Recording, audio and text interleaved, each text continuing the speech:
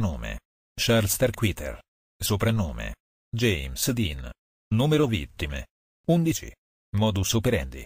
Arma da fuoco, accoltellamento, strangolamento. Charles Starkweather nacque il 24 novembre 1938 in Nebraska, Stati Uniti. Gli Starkweather erano una famiglia proletaria rispettabile con bambini ben educati.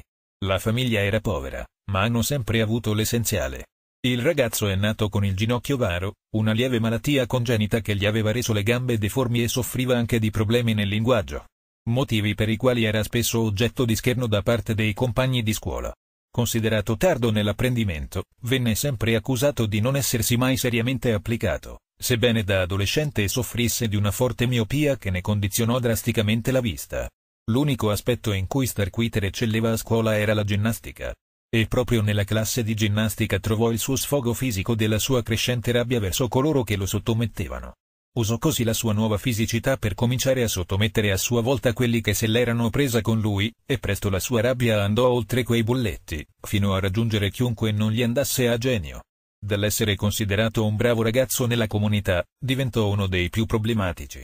Un suo amico in seguito lo ricordò come un ragazzo gentile, che prendeva tutto come una barzelletta. Era molto divertente. Ma aveva anche un lato nascosto. Poteva essere molto cattivo, crudele, Dopo aver visto il film Gioventù bruciata, Starkweather sviluppò una fissazione per James Dean, da cui ne viene il suo soprannome, e cominciò ad acconciarsi i capelli ed a vestirsi come lui. Starkweather si identificò nel ribelle personaggio del film, credendo di aver trovato una sorta di spirito affine, qualcuno che avesse sofferto quanto lui. Allo stesso tempo, sviluppò un forte complesso di inferiorità che lo portò ad odiarsi, ritenendosi incapace di fare qualunque cosa correttamente. È il 1956 quando incontrò quella che diventerà la sua compagna e fidanzata, Carilan Fugate, allora tredicenne. Sempre in quell'anno lasciò l'ultimo anno di superiori ed iniziò a lavorare in un magazzino di giornali. Scelse quel lavoro perché era vicino alla scuola che frequentava la sua ragazza. Starkweather era considerato un lavoratore povero, e il suo datore di lavoro ha in seguito affermato che era lento a capire, che bisognava ripetergli due o tre volte le cose. Lo definì come un tardo. Successivamente si licenziò ed iniziò a lavorare come spazzino. In questo periodo cominciò ad avvicinarsi ad una visione nichilistica della vita, credendo che quella sua attuale situazione sarebbe stato il modo in cui avrebbe vissuto il resto della sua vita. Usava il percorso in cui raccoglieva rifiuti per progettare rapine in banca.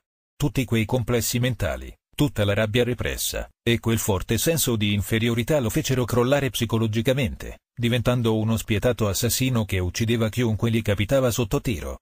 30 novembre 1957.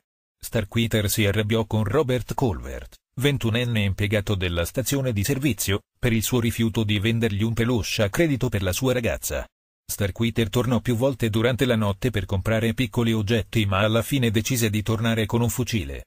Obbligò Colbert a dargli 100 dollari e poi lo condusse in un posto isolato. I due ebbero una colluttazione ma alla fine Starkweather ebbe la meglio, uccidendolo con una fucilata alla testa. Starkweather sostenne in seguito che, dopo aver ucciso Colbert, riteneva di aver trasceso il precedente se stesso, raggiungendo un nuovo piano di esistenza nel quale era al di sopra e al di fuori della legge. La vera furia omicida partì, però, dal 1958. È il 21 gennaio 1958. Starkweather si recò a casa di Caril Fugate per vederla, che però non era in casa, e dopo che la madre Velda e il patrigno Marion Bartlett gli dissero di andarsene, Starkweather ebbe un attacco d'ira senza precedenti.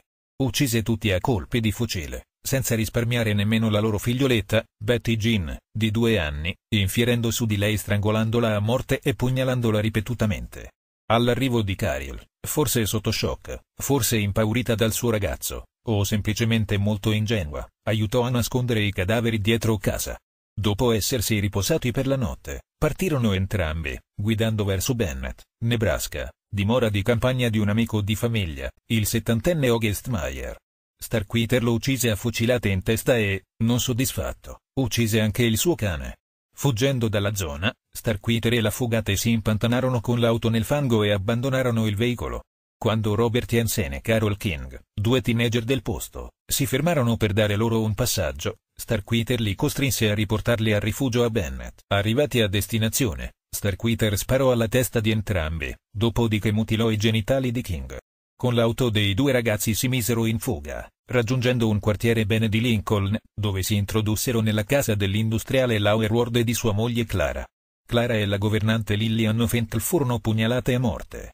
Dopodiché uccise il loro cane, spezzandogli il collo, e si mise in attesa che rientrasse a casa Lauer. Quando Lauer Ward tornò a casa quella sera, Starkweather gli sparò per poi fuggire e lasciare lo stato del Nebraska. Gli omicidi nella casa dei Ward generarono parecchia preoccupazione nella contea. Le forze dell'ordine erano impegnate nella ricerca degli assassini, casa per casa. Fu anche contattata la Guardia Nazionale del Nebraska, e il capo della polizia di Lincoln dispose una ricerca isolato per isolato della città. Furono segnalati diversi avvistamenti dei due. Intanto i due ricercati trovarono il commesso viaggiatore Mel Collison che dormiva nella sua auto lungo la strada statale, appena fuori la città di Douglas. Lo svegliarono e Starkweather gli sparò uccidendolo. L'auto del commesso viaggiatore aveva un pedale per il freno d'emergenza, che era una novità per Starkweather. Mentre tentava di andarsene con l'auto, questa si spense. Provò a riaccenderla e un motociclista di passaggio si fermò ad aiutarlo. Starkweather lo intimorì col fucile e ne scaturì una lite. A quel punto, un vice sceriffo arrivò sul luogo. La fugate corse verso di lui urlando aiuto. La ragazzina non riusciva più a stare al gioco del suo ragazzo che aveva ormai perso ogni controllo. Starkweather tentò di fuggire dalla polizia con l'auto. Un proiettile sparato dalle forze dell'ordine frantumò il parabrezza, e un frammento di vetro ferì Starkweather abbastanza da farlo sanguinare. Questi formò all'improvviso, circondato. Scattò l'arresto per la coppia. Starkweather scelse e ottenne di essere estradato nel Nebraska invece che nel Wyoming, dove giunsero alla fine del gennaio 1958. Credeva che nessuno dei due stati lo avrebbe condannato a morte. L'uomo addossò tutte le colpe alla sua ragazza, dicendo che era spietata e che aveva il grilletto facile come nessun altro. Poi disse che era stato rapito dalla fugate e che lui non aveva a che fare con gli omicidi. Lo sceriffo che lo arrestò lo definì, infatti, un codardo. La fugate riferì il contrario invece. Starkweather venne dichiarato colpevole e condannato alla pena di morte per l'omicidio di Robert Jensen, unico omicidio di cui c'erano schiaccianti prove poiché non si sapeva quali degli altri dieci furono commessi anche dalla ragazza. Fu giustiziato sulla sedia elettrica il 25 giugno 1959. La fugate fu condannata all'ergastolo il 21 novembre 1958.